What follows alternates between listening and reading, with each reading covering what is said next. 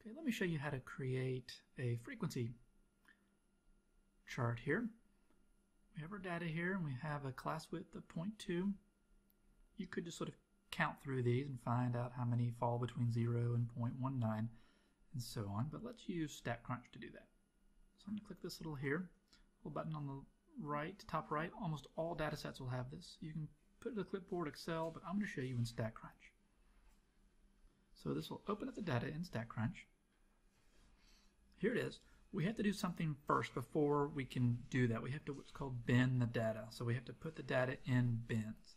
So if you go to the Data tab and then click on Bin, we're going to select the column. We'll get var, and we could do it automatically, but we already know what the bin widths need to be at. We're going to start with 0, and the bin width said was 0.2. Um, do we want the bin edge, this 0.2, to um, include the left endpoint or include the right endpoint?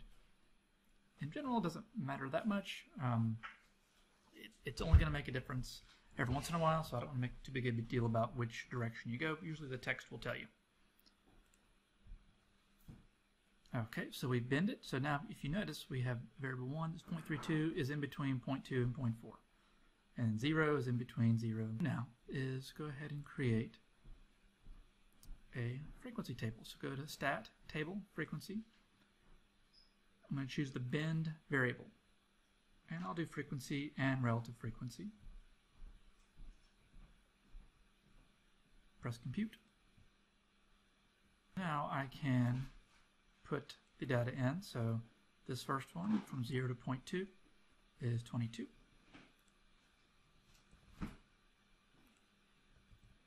And so on. 5, 2, 1.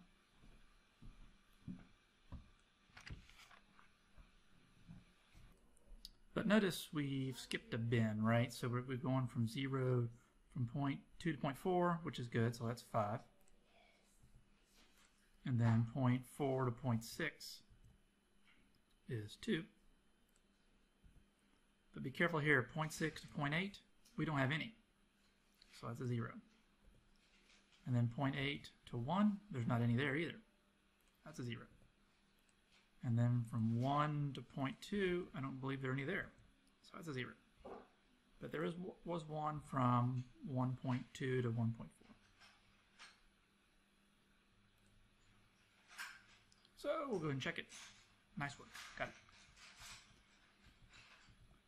Now very soon you're going to be creating a histogram with this data. Let me just go and show you that. And I actually I find this a little bit easier than doing what I did here. When I go to graph and choose histogram, I don't have to bend the data. In fact, it won't even allow me to pick that. So I just click the variable, we put start at 0, width at 0.2. If I want to put the values above the bars, I can. And then click compute.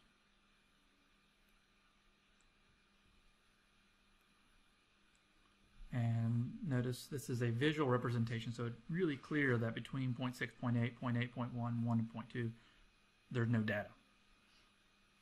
And notice that these do align with what the same thing I got when I created my uh, frequency table. 22, 5, 2, but then there's a 0, 0, 0, and then a 1. Hope that helps.